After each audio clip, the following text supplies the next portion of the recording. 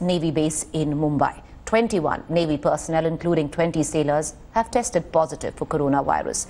印度海军基地爆发群聚感染，至少已经有二十六名海军人员确诊。而在欧美，海军军舰接连沦陷。美国航空母舰罗斯福号舰上共四千八百六十五名船员，其中六百六十人染疫，确诊率达百分之十三点五，有三分之二是无症状感染者。而法国航空母舰戴高乐号舰上两千三百多名官兵，已经有一千零八十一人确诊，确诊率高达百分之四十七，有五百四十五人无症状，无症状患者比例过半。17 avril, 2010 tests ont été effectués.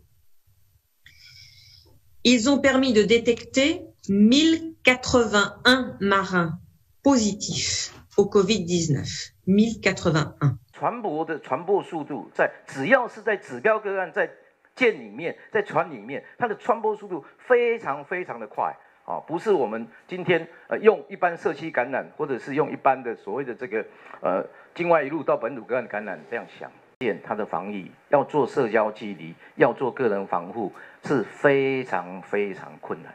媒体分析指出，军队一向讲求纪律、集体生活，士兵经常近距离接触，只要有人确诊，就可能出现交叉感染，导致整支军队沦陷。台大医师也指出，相较于游轮，军舰感染风险更高。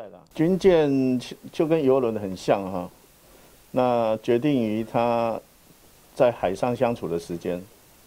那国外的报告呢，最高到四成的军的船上人被感染都有。游轮通常还有个人的浴室卫浴。